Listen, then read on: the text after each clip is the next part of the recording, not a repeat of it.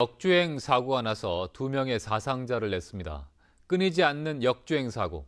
도로에 유도선만 그려도 줄일 수 있는데 예산이 문제입니다. 조미애 기자의 취재입니다. 깜깜한 어둠 사이로 119 구조대와 구급대가 출동합니다.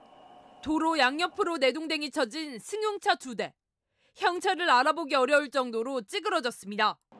음성군 감곡면의 한 국도에서 승용차가 역주행하면서 마주오던 승용차와 충돌해 역주행 운전자가 숨지고 마주오던 차량 운전자도 부상을 입었습니다.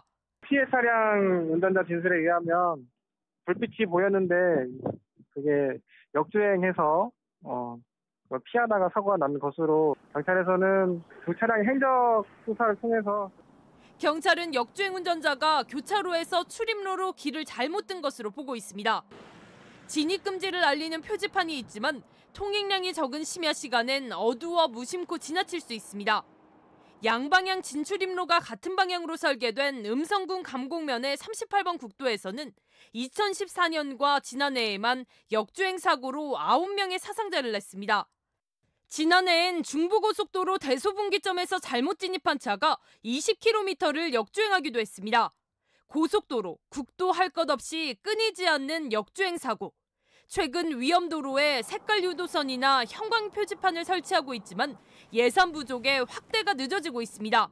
MBC 뉴스 조미입니다.